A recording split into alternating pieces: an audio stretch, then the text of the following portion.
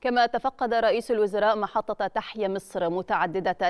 الأغراض على رصيد 5562 بميناء الإسكندرية لمتابعة التجهيزات النهائية للمحطة والمتوقع البدء في تشغيلها بشكل تجريبي في النصف الثاني من يناير 2023 جاء ذلك في إطار تنفيذ توجيهات الرئيس عبد الفتاح السيسي بتطوير الموانئ المصرية ورفع كفاءة البنية التحتية والفوقية لها. وأكد مدبولي أنه تم تنفيذ المشروع وفقا لأعلى معايير الجودة والكفاءة ويستهدف يستهدف تحقيق عدة أهداف تتمثل في الحفاظ على شكل حضري للمحطة فيما يتعلق بالعاملين في سوق محطة مصر والباعة الجائلين وأصحاب المحلات وتقنين كافة أوضاعهم.